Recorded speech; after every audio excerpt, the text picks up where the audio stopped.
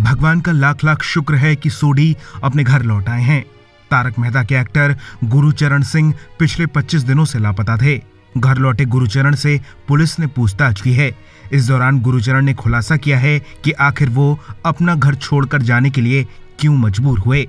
गुरुचरण सिंह 25 अप्रैल से लापता थे। वो दिल्ली में अपने घर से मुंबई रवाना होने के लिए निकले थे, लेकिन दिल्ली से ही उन्होंने अपना रास्ता बदल लिया और अचानक गायब हो गए। उनके बूढ़े पिता और घर वालों का रो रो कर बुरा हाल था। घर वालों को लग रहा था कि सोडी को किडनैप कर लिया गया है। हालाँकि अब सोडी ने सारी कहानी पुलिस को बताई है। आज तक की रिपोर्ट के मुताबिक गुरुचरण ने पुलिस को बताया है कि वो धार्मिक यात्रा पर गए थे। वो दुनियादारी छोड़कर घर से चले गए थे।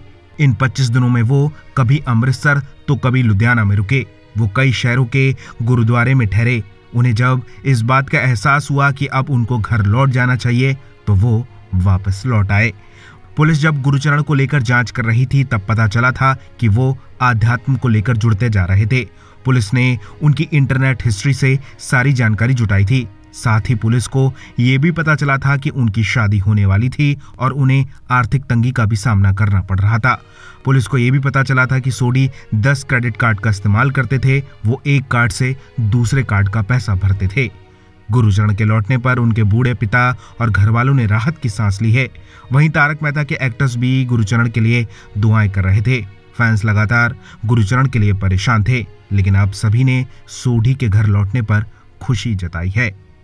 ब्यूरो रिपोर्ट बॉलीवुड पे चर्चा।